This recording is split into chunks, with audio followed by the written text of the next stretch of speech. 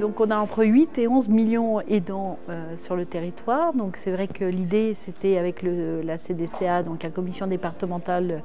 de l'autonomie, de travailler avec tous ses membres et les partenaires sur un guide à destination à la fois des particuliers mais aussi des professionnels pour permettre d'identifier les aidants et de voir comment on peut les aider sur différents champs. Ce guide est donc à destination des professionnels et des particuliers pour permettre de, faire prendre conscience aux aidants qu'ils ont besoin aussi d'être aidés pour qu'ils puissent euh, correctement aider les aider. On doit aussi euh, prévenir les situations d'épuisement des aidants et vraiment être euh, le département de la Seine-Maritime, qui est le département par définition des, solidarités, se doit évidemment de répondre à ces défis, de prendre en compte les constats remontés par nos partenaires, de pouvoir être un lieu